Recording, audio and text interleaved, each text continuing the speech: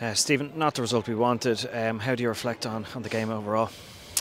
Ah, look, I think we're obviously disappointed that we've gone out, but tonight I think we have enough chances to win three or four games. Um, we had 21 shots uh, compared to their two, um, and we just don't take them, you know. Um, some of our play was good, created a lot of chances, but uh, you have to be scoring uh, them opportunities. Yeah, you were forced into an early change with Rory Gaffney coming off and Johnny coming on. Um, what's the update on Rory? It's too early. We'll have to have a look at him in the morning and uh, and see how it is. It doesn't look too bad, but we'll have to see it in the morning.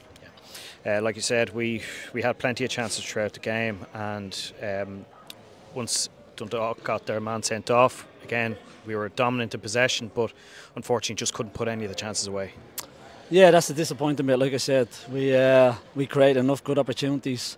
Like I said, if you have 20, 21 shots in any game, you, you expect to score a goal, and and uh, and today we just weren't good enough in front of goal.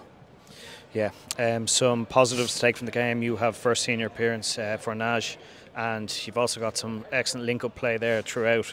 Um, we were obviously unlucky um, with Gary O'Neill failing to hit the target after Sean Hoare's header, and also Johnny probably not helped by the pitch as well.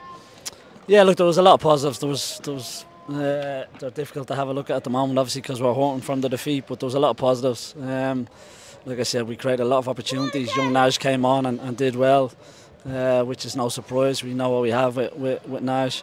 Um, so it was good to get him on. I thought he actually did really well when he came on. So uh, forced the many for him. But um, yeah, look, like I said, we created enough opportunities to win two or three games tonight, and we haven't taken them.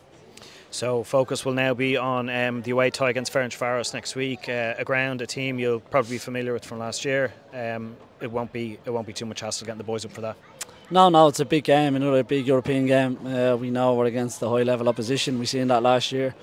Um, but we'll uh, recover uh, quickly and get ready to fly out there, there during the week and, and do everything possible uh, to go and get a result.